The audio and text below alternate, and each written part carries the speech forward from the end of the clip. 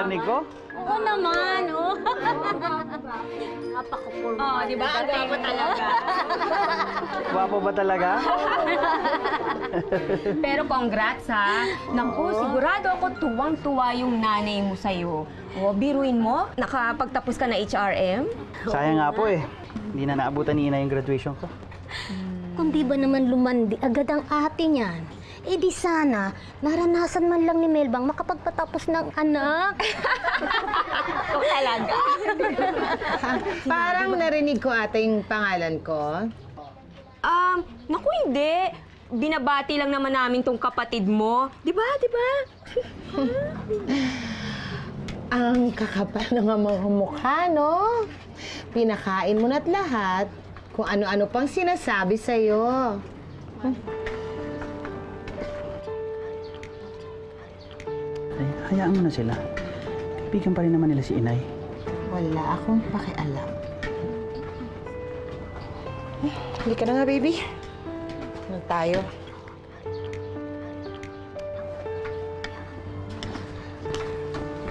Sige, ka- kain lang kayo ha. Oo naman. Kaya tayo pang pagkain. Ang sarap naman. Carding! Sige po. Carding! Bet! Pasensya ka na ngayon lang ako, ha?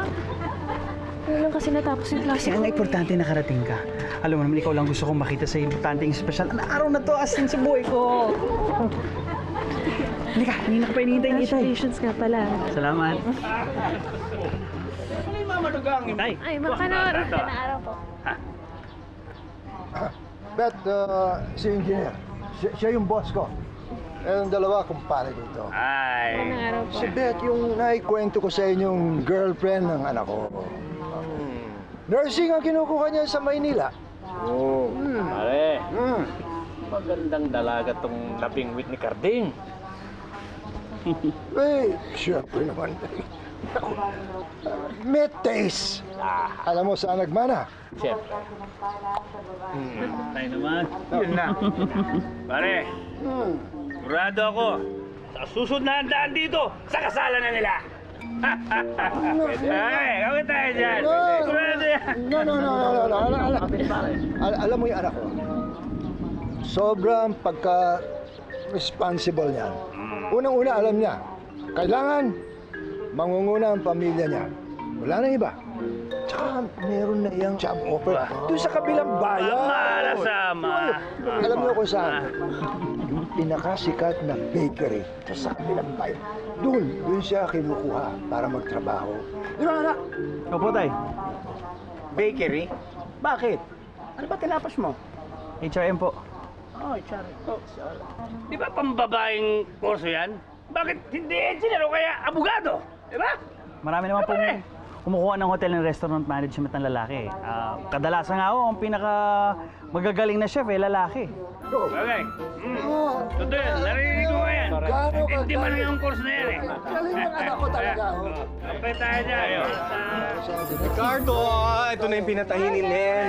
Andiyan sa loob. Ay, congratulations. Nakapunta ka. Congrats naman. Ako pa mawawala. Kumain ka na ba? Ganda. Hindi pa nga muna, eh. kain ka muna. O sige, palapang. Pinitipan natin yan. Papi! Hello! Macheteng machete pa rin ang katitay. Palapang ha, papi ha? Ha? Gora bells nga ako dito eh, ha? O, dyan na lang, Ay, dyan na lang. Ay! Ay! Bakla, dito ka! Oh, bakit po? Ikaw, wag na wag mong gagamitin yung mga kubyertos namin. Ay! Bakit po? Alam mo ako, ha? Eh kung may sakit ka, mahawa kami lahat. Wala ah! Every week ako nagpapacheck. Ikaw naman, ka-hurt ka Ay. ha? Tibol na natin dito yan. Wala wala kaming katibol eh. Ah, Di ba? Excuse. Balik ka rito, ha? Sure! Pare, papulbolito yung pare. Ganda eh. Okay naman. Masaya, masaya ako, nandito ka. Pinakaabot pa ako. Siyempre. Magpalit ka muna ng damit. Talagang nandidiri ako dyan sa mga bating na yan. Paisipin mo, dumadami sila ng dumadami. Hindi naman nabubuntis. Ah. Yan, dapat alamin natin bakit. Bro, Oh,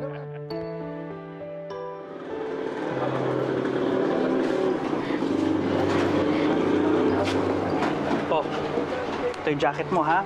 Kung sakaling ginawin ka sa biyahe. Tapos sabihan mo ko agad kapag nasa Manila ka na.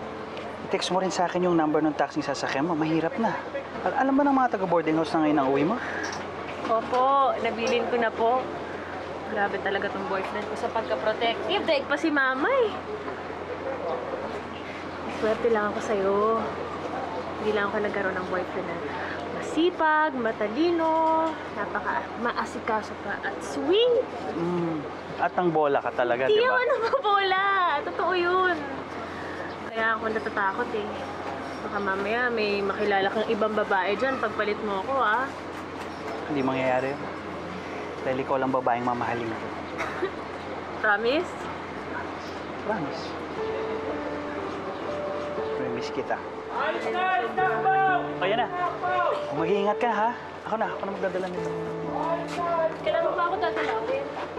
Basta kailangan maging regular ako sa pinapasukan ko. Para sa susunod, hindi na ikaw yung kailangan lumawas dito. Iingat ka ha. Ikaw din. Basta balitaan mo ako. Ha? Text ka ah. Oo naman. tuloy, tuloy, tuloy, tuloy, tuloy. Ingat ka ha. I love you. I love you too. Ingat ha. Thank you.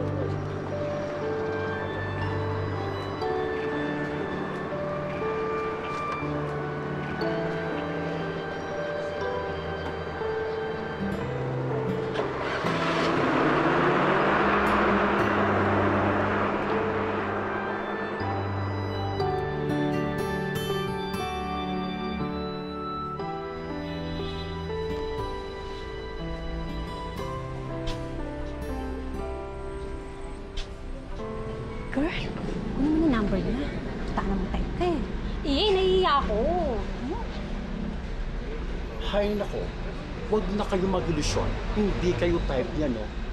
Hello, amoy na amoy nga hanggang plaza. Ang lansa. Bakla siya? We, wala naman si Tsura. Watch and learn. Bakla! Shh.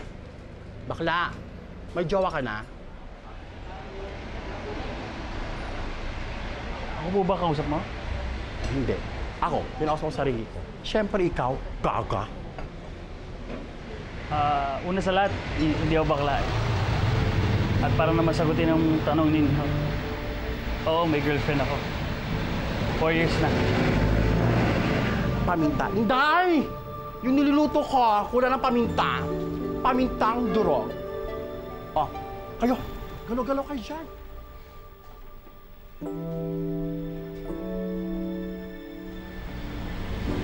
Pagpasensya mo na si Jordan, ha? Wala kasi mupatol sa baklang yun, kaya lahat na pinagsusupladahan. Biboy nga pala. Pwede.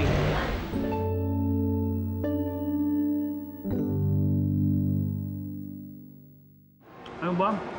Nagtataka nga itong si B-Boy. Sabi niya, bakit daw ako nagtsatsaga na magtrabaho dyan sa bakery?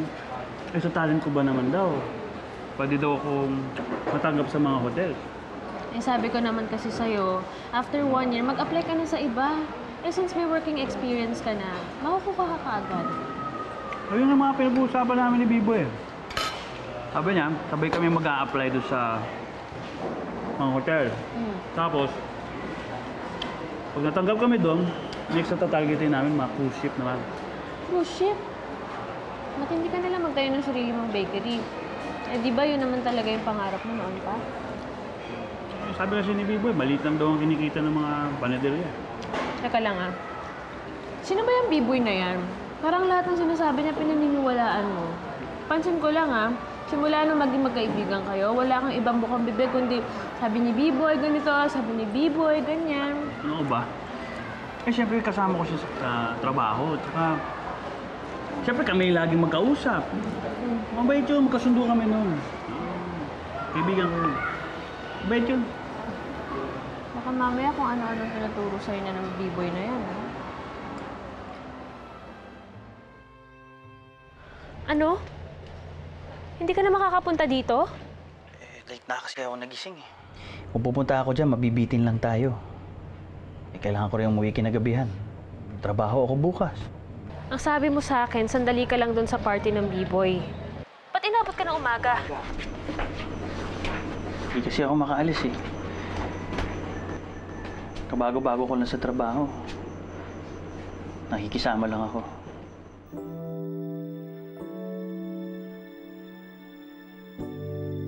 Eh, paano naman tayo? Nangako ka sa akin na lalabas tayo ah. Sorry na. Babawi ako.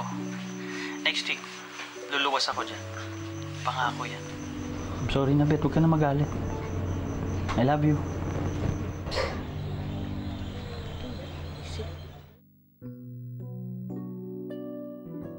Yan ang mahirap, no? Magkalayo kayo sa isa't isa. Hindi mo na nababantayan sota mo, no? eh, teka.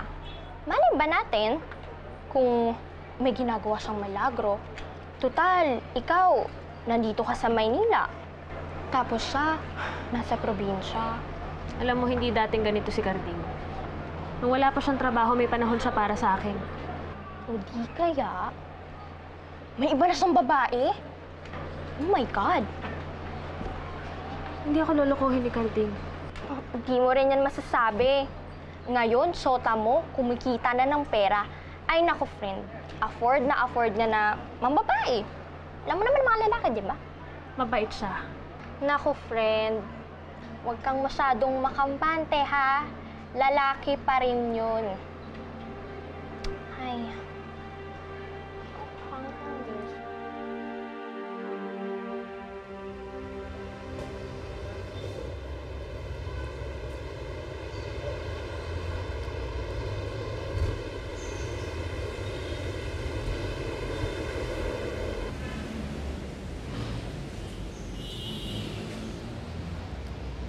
Di na darating yon. Kung darating yon, dapat kanina pa. Excuse me?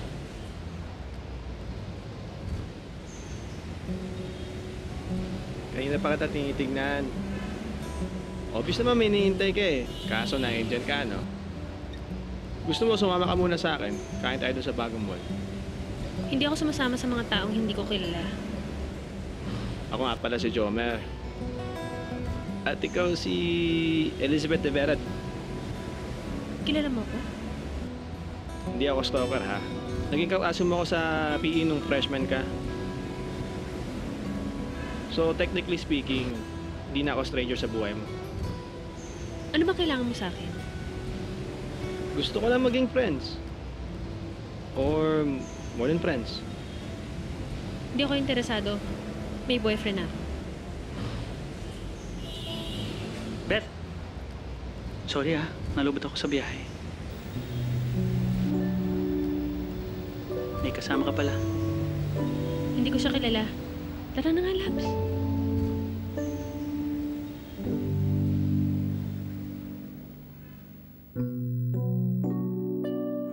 Kung hindi mo sana ako pinag-intay doon, hindi sana ako napastos ng buwis na lalaking yun. Pasensya ka na. Nagsabi naman ako sa'yo, di ba?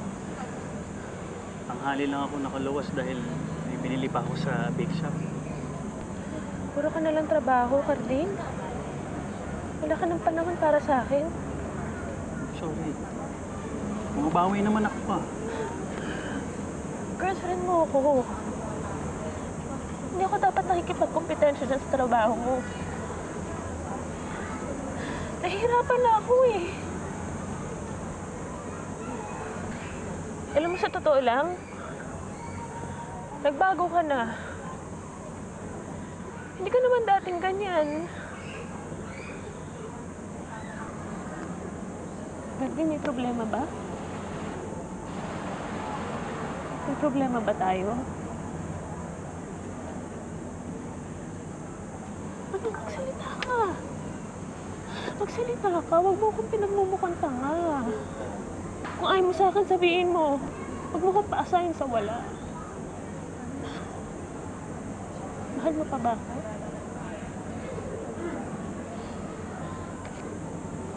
Mahal kita.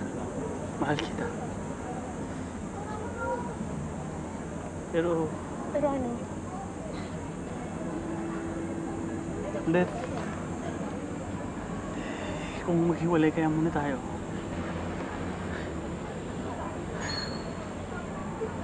Pero na lang yun. Makikipaghiwalay ka sa akin. Siguro may ibang babae ka, no? Tama yung hinala ko. May ibang babae kasi Wala. nung pinagpalit mo sa akin. Wala, Beth, wala. Maniwala ka, Beth. Wala akong ibang babae. Kung wala, bakit gano'n na lang kadali sa'yo na itapon lahat ng mga pinagsamahan natin? Dahil bakla ako, Beth. Bakla ako.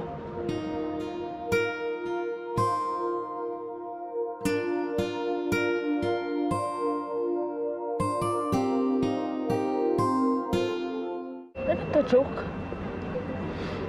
Hindi ako nagbibiro. Bakla ako. Sa tingin mo, papaniwalaan ko lahat ng sinasabi mong dahilan para makipaghiwalay ka sa akin? Hindi ako tanga, Carding. Hindi ako nagpapalusot. Totoo sinasabi ko sa'yo. Sorry, hindi ko kita gustong saktan.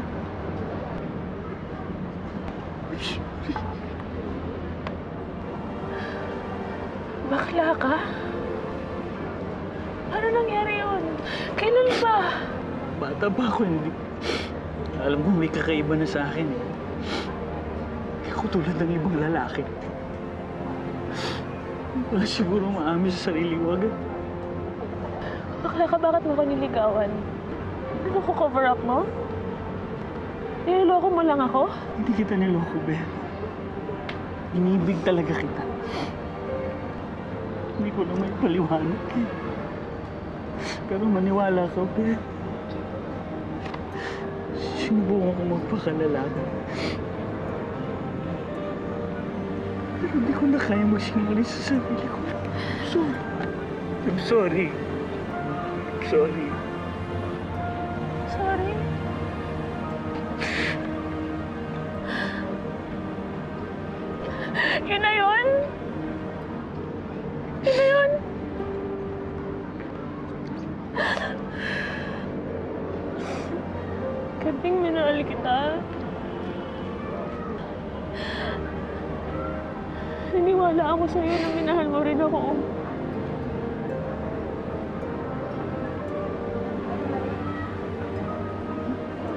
Mahal kita. Pero ano? Lalaki yung gusto mo.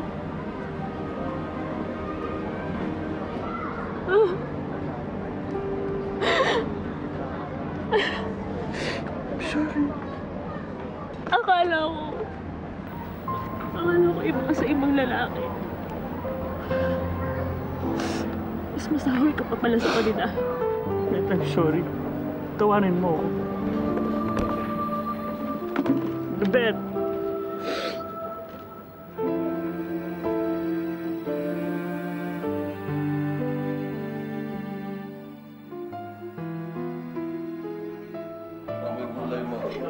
Pa.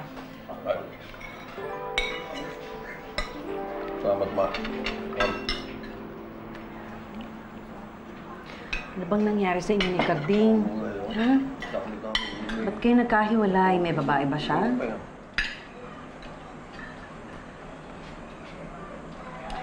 Anak, kung meron kang kailangan makausap, andito lang kami ng papa mo, ha? Huwag po kayo mag-alala, ma. Okay lang po ako. Alam mo, anak, malaman ko na nanliligaw sa'yo si Carding. Eh, sa totoo lang eh, hindi talaga kami pabor eh. Eh, kaya lang, ang makita ko na responsableng lalaki naman, at porsigidong makapag-aral ng mabuti, hinayaan ko na no. Maski nung nabalitaan ko na sinagot mo na siya. Kabilanda ko, ayos na rin na nagkahiwalay kayo. Kung ganun eh, maaga ka makapagtapos ng pag-aaral mo. Eh, dalawang taon na lang eh, nurse ka na. Sayang. Kung mauudot pa. Ang tagal ka na inaantay ng tita Lily mo sa London eh, di ba? Ay, tama. Ako anak, malakas daw ang kita sa London ngayon. Alam mo, anak, tumatanda na kami ng nanay mo. Ikaw na lang ang inaasahan namin.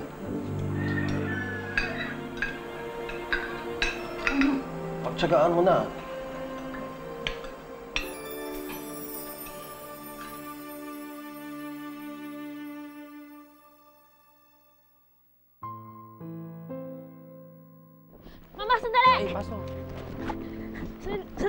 Pakapal ako. Puno na, sa susunod ka na.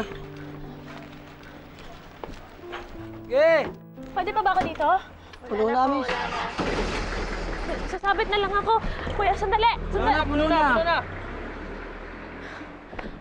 Ayan. Dito ako. Saan naman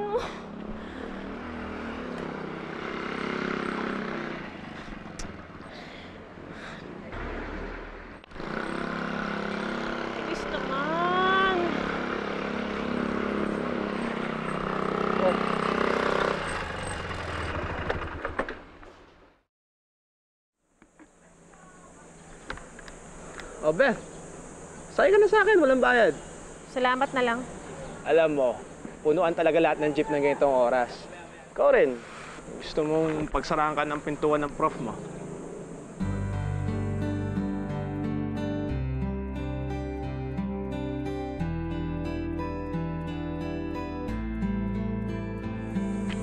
Wala lang akong exam ngayon.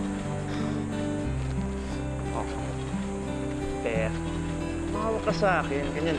Yan. Mahulog ka na sa akin, huwag lang sakali. Ano, ready ka na?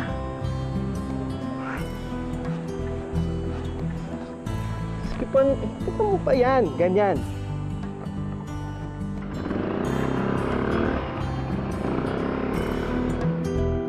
Sige, ingat. Ingat kayo. Kita-kits. Summer, anong ginagawa mo dito? Wala ka bang klase? Ah, meron. Pero mas gusto ko itang hintayin. Uh, Kamusta ang exam? Perfect ba? Pasado naman, awa ng Diyos. Uy, salamat nga pala sa libreng hatid kanina. Anytime. Ikaw lang naman itong suplada eh. Siguro, saloso yung boyfriend mo, no? Hiwalay na kami ni Carding. Hindi nga. So,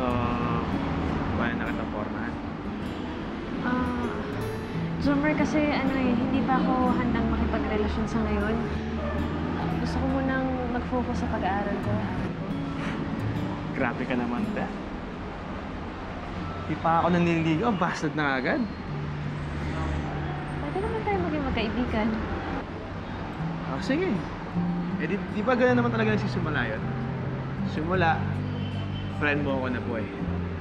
Tapos, boyfriend na. sige na, celebrate tayo. Lilibre kita.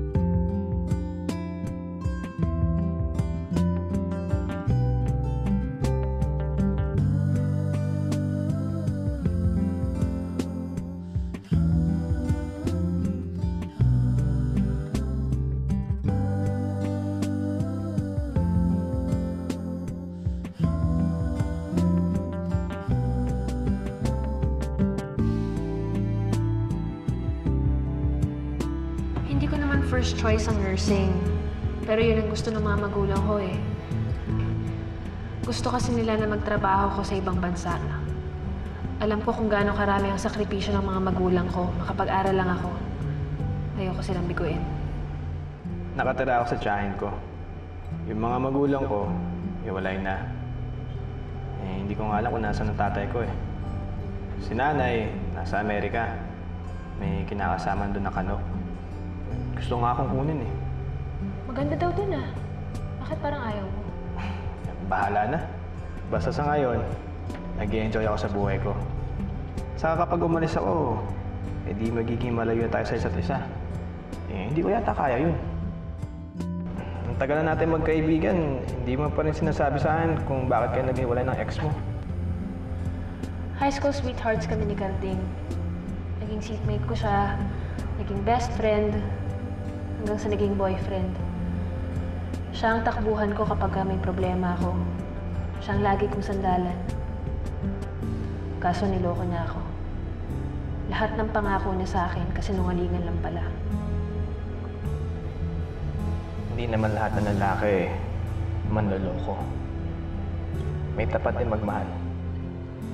Katulad ko. Hindi ako katulad ng ex mo.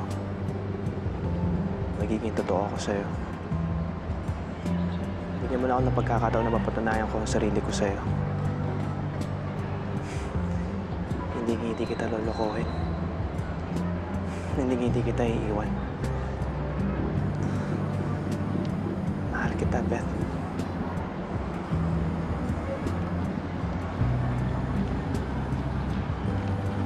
Mahal din kita, Joe.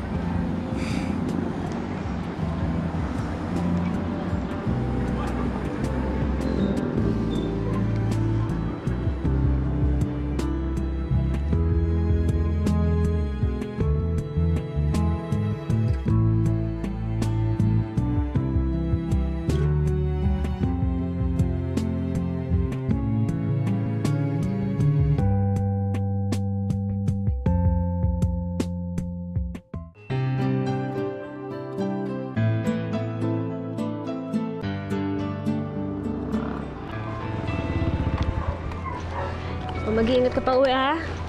Text mo ako kapag ka nasa bahay ka na. Mamaya kung saan saan ka pa pumunta, ha? Kung gusto mo talaga makasigurado wala kang ibang pupuntahan, sumama ka na sa akin. Nagilan mo nga ako, Jomer. Umuwi ka na lang. Kasi magre-review pa ako. Next week, finals na namin. Beth, maingay na sa boarding house nyo. Mong tahimik. Makapag-aral ka doon. Sumama ka na sa akin. Jomer, napag-usapan na natin to, di ba? Pagkasal na tayo. Oo na. Magse-sex lang tayo pagkasal na tayo.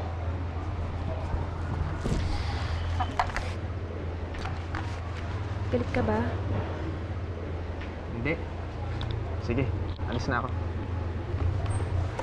I love you. Sabi ko, I love you. I love you.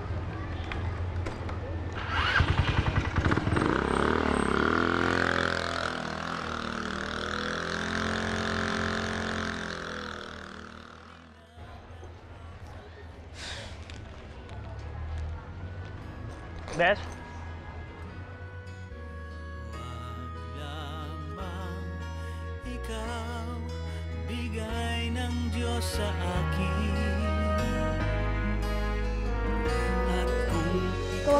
Pinaka-importanting tao sa buhay ko. Kung talagang mahal mo ako, patunayan mo. Alam mo, parehong-pareho kayo ng best friend mo eh. Pagdating sa mga om shibam-bam, naku! May nakita kasi akong sapatos doon. Babayaran ko na lang pag sumahod tayo. Yun na, gift ko na lang yan sa'yo. Tama na yung maging bakla na lang tayo. Huwag na tayong tanga. Hindi ka pa ba dinadagnag? Sabay naman tayo lagi ng period eh. Pinili mo yung boyfriend mo! May sumama ka sa kanya! Hindi ko matatanggap yung batang yan! Sigurado ka bang sa akin yan? Matapos kong ibigay sa iyo yung pagkababae ko. Pag-iisipan mo ako ng ganyan. Ikaw, gusto mo kayo tuluyan? Sa sarap nandun ka. Pero ngayon naging komplikado na ang sitwasyon. Bigla mo lang iiwan sa ere to si Ben. Kahit bakla to, papatulang ko. Oy, kahit bakla ako, hindi kita uurungan.